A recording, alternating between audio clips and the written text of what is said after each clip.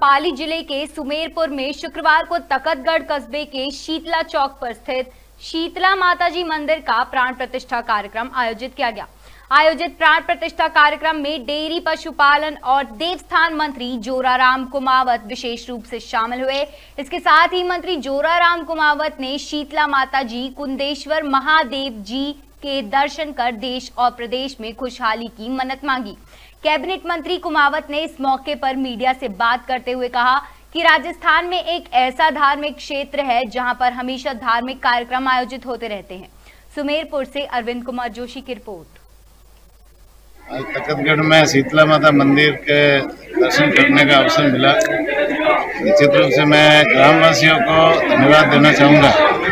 कि इन्होंने ये शीतला माता का जो पुराना मंदिर था, उसका जीर्णोद्धार करके बहुत बढ़िया मंदिर बनाया है। और आज इस मंदिर की पूरे ग्रामवासियों ने मिलकर के प्राण प्रतिष्ठा की है। धार्मिक कार्यक्रम है। निश्चित रूप से लंबे समय तक इस मंदिर का लाभ और मंदिर के दर्शन करने का लाभ यहाँ तकदीर वासियों को मिलेगा।